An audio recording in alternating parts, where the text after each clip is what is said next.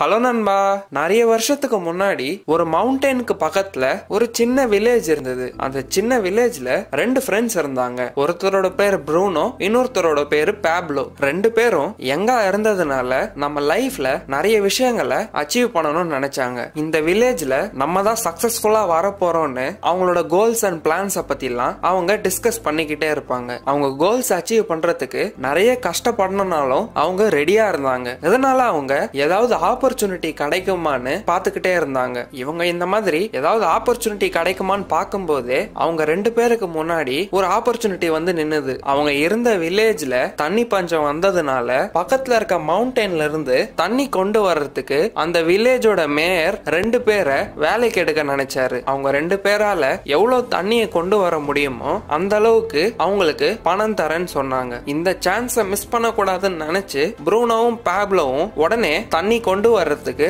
Ready ஆயிட்டாங்க. Daily காலையில இருந்து சாயங்காலம் வரைக்கும் ஆளுக்கு ரெண்டு பக்கெட்ஸ் எடுத்துக்கிட்டு ப்ரூனோவும் பேப்லோவும் நடந்தே போய் தண்ணி கொண்டு வந்துட்டு இருந்தாங்க. காலையில இருந்து சாயங்காலம் வரைக்கும் கஷ்டப்பட்டு ஒர்க் பண்ணதுக்கு அப்புறமா அவங்களோட டெய்லி சம்பளத்தை வாங்கிக்கிட்டு வீட்டுக்கு திரும்பி வந்துருவாங்க.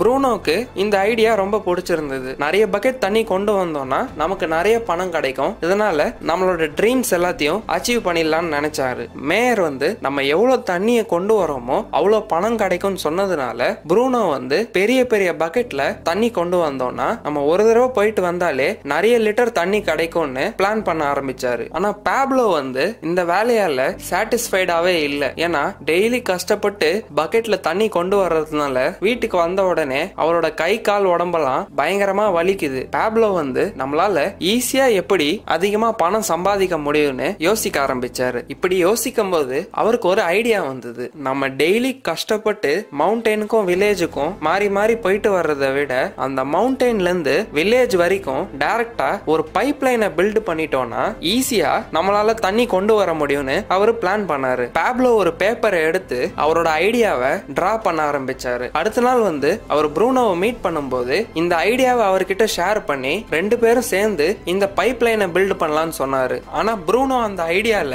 இன்ட்ரெஸ்டடா இல்ல. ஒரு பைப் லைனை கட்டுறதுனால அவரோட கோல்ஸை சீக்கிரமா அச்சீவ் பண்ண முடியாம போயிடும்னு நினைச்சு பெரிய பக்கெட்ஸ் எடுத்துக்கிட்டு யூஸ்வலா எப்படி தண்ணி கொண்டு வருவாரோ அதே மாதிரி கொண்டு வந்துகிட்டு இருந்தாரு. ஆனா பேப்லோ வந்து ப்ரூனோ ஒத்து வரலனா கூட அவரோட ஐடியால அவர் ஒர்க் பண்ண ஆரம்பிச்சாரு. பைப் லைனை பில்ட் பண்ண ஸ்டார்ட் பண்ணும்போது தான் இது ரொம்ப கஷ்டமான வேலைன்னு பேப்லோக்கு புரிய வந்தது. அவரோட ஒர்க்கிங் டைமை பேப்லோ கால்குலேட் பண்ணி பார்க்கும்போது பைப் லைனை கட்டி முடிக்கிறதுக்கு குறைஞ்சபட்சம் மூணு வருஷமாவது ஆகும்னு அவர் கண்டுபிடிச்சாரு. பேப்லோ வந்து அவர் சம்பாதிக்கிறதும் விட்டு போயிடக்கூடாதுன்னு அவரால் முடிஞ்ச வரைக்கும் பக்கெட்ஸ்ல தண்ணி கொண்டு வந்துகிட்டே இருந்தாரு. அப்புறம் அவரோட ஃப்ரீ டைம்ல முடிஞ்ச அளவுக்கு கஷ்டப்பட்டு சீக்கிரமா பைப் லைனை கட்டி முடிச்சிடணும்னு ஒர்க் பண்ணிக்கிட்டே இருந்தாரு. இப்படியே ஒரு மாசம் போச்சு. ஆனா ஒரு மாசம் முடிஞ்சதுக்கு அப்புறமா கூட பைப் லைனோட ஒர்க் வந்து ரொம்ப கம்மியா தான் முடிஞ்சிருந்தது. அவர் பைப் லைனை கட்டுறதுக்கு ஒர்க் பண்ணிட்டு இருக்கும் போது அந்த வில்லேஜ்ல இருக்க எல்லாரும் அவரை பார்த்து சிரிக்க ஆரம்பிச்சாங்க டீஸ் பண்ண ஆரம்பிச்சாங்க. அவரை பைப் லைன் மேனு சொல்லி கிண்டல் பண்ண ஆரம்பிச்சாங்க. ஆனா அதே நேரத்துல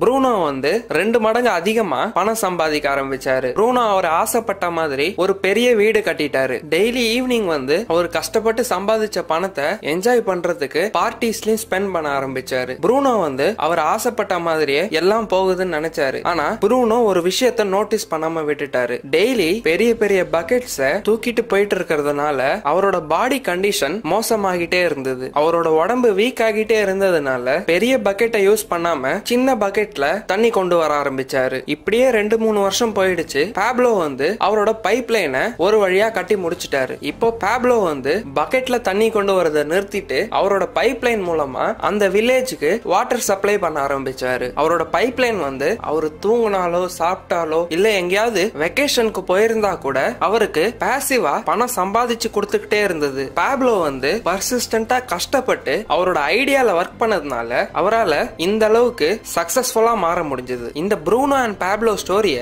நம்மளோட லைஃப் கூட ரிலேட் பண்ணலாம். ப்ரூனோ என்ன பண்ணாரு? யூஸ்வலா சம்பாதிக்கிறத விட அதிகமா சம்பாதிக்கணும்னு நினைக்கும் போது அவரு எப்பயும் தண்ணி கொண்டு வர்றதுக்கு யூஸ் பண்ற பக்கெட்டை விட பெரிய பக்கெட்டை யூஸ் பண்ணோம்னா நம்ம அதிகமா பணம் சம்பாதிக்கலாம்னு நினைச்சாரு. இது நம்மளோட லைஃப்ல எப்படி இருக்குன்னா நார்மலா ஒரு ஜாபுக்கு போகும்போது அந்த இன்கம் நம்மளுக்கு பத்தாதப்ப ஓவர் டைம் பாக்குறதோ இல்ல இன்னும் ஒரு ஜாப் எடுத்து திரும்ப கஷ்டப்பட்டு வேலை செஞ்சு நம்மளோட டைமை பணத்துக்காக எக்ஸ்சேஞ்ச் பண்ணிட்டு இருக்கோம். ஆனா ஒரு விஷயத்த நம்ம நம்ம புரிஞ்சுக்கணும். நம்ம எல்லாருக்குமே ஒரு நாள்ல டுவெண்ட்டி ஃபோர் ஹார்ஸ் தான் இருக்கு. இதனால நம்ம தூங்காம சாப்பிடாம டுவெண்ட்டி ஃபோர் ஹார்ஸ் வேலை செஞ்சாலும் நம்மளால அந்த டுவெண்ட்டி ஃபோர் ஹார்ஸ் டைம்க்கு எவ்வளவு பணம் சம்பாதிக்க முடியுமோ அந்த அளவுக்கு தான் சம்பாதிக்க முடியும். இதனால டைமை பணத்துக்காக எக்ஸ்சேஞ்ச் பண்ணோம்னா நம்மளோட இன்கம்ல ஒரு லிமிட் வந்துடும். இதுல இன்னும் மோசமான விஷயம் என்னன்னா நமக்கு ஏதாவது அடிபட்டாலோ இல்ல உடம்பு சரியில்லாம போனாலோ இல்ல வயசாயிட்டாலோ நம்மளால யங்கா இருக்கும்போது ஒர்க் பண்ற மாதிரி நல்லா ஒர்க் பண்ண முடியாது. இதனால நம்மளால ஒர்க் பண்ண முடியாதப்போ நமக்கு இன்கம் வர்றதும் நின்னு போயிடும். ஆனா பேப்லோவை பார்த்தோம்னா